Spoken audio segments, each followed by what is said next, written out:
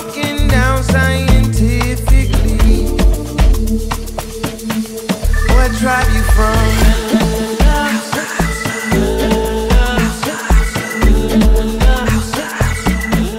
What tribe you from?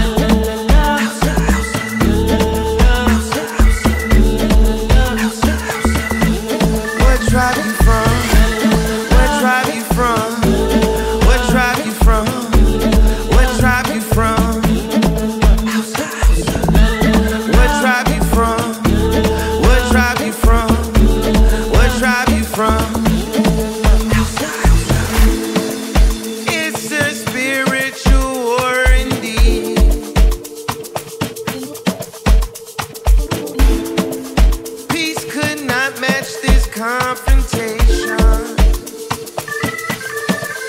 Think about it, if the world had belonged to you, you wouldn't have to enslave people to try to make them follow the rules. The spiritual bond is lost at the cost of these false prophets trying to play God, but see, something is off. The planet gonna respond to you, the skin, the sun, the tan, the burn, they calling that a global concern. Still impressed how they switch this up, but tell I'm a rider, amen, trick is up.